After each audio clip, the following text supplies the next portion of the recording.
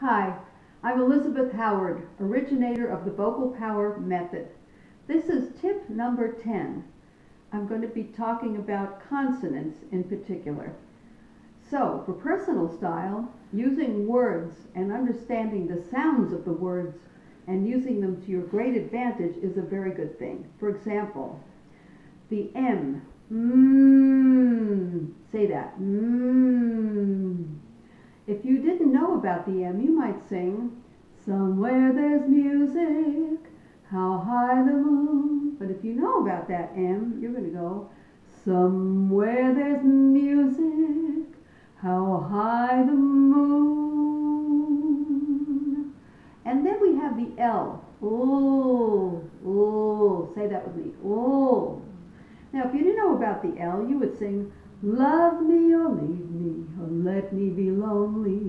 But if you know about the L and how to use it, you'll sing, Love me or leave me, or let me be lonely. That's a good, oh. What about H? H. Heaven. I'm in heaven. It sounds like you're in heaven.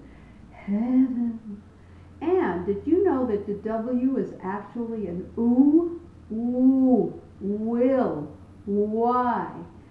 So if you didn't know about W being ooh, an ooh, you might sing, the world will always welcome lovers.